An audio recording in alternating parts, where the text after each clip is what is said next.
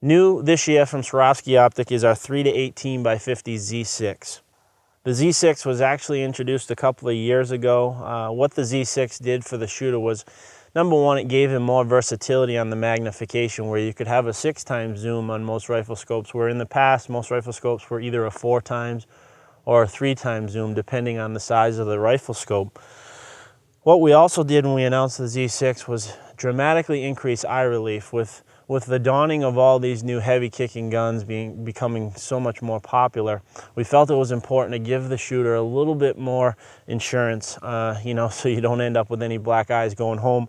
But uh, we increase eye relief significantly.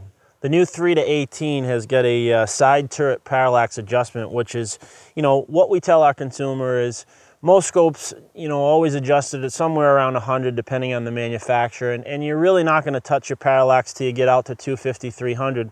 But with the versatility of the new scope having 18 power and your ability to reach out and touch those targets, you really need to kind of adjust for that parallax. So the side turret is, is I think really nice just because of the fact if you if you do have that rifle cheeked, you don't have to go to the adjustable objective like you used to. It's just kind of right there nice and easy for you. The other feature that's really nice about this scope is the illuminated version. We've seen a dramatic increase in the amount of hunters in the US and all over the world using illuminated scopes.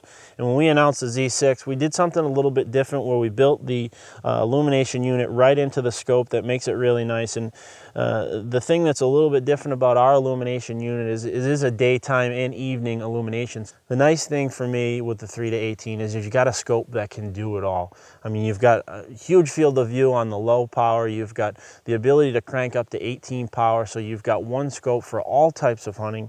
Not only that, you've got your third turret parallax now, which makes it easy to adjust the scope, and you've got your illumination unit built right into the scope. So basically this scope has, has it covers all the needs for any type of hunting you could possibly do.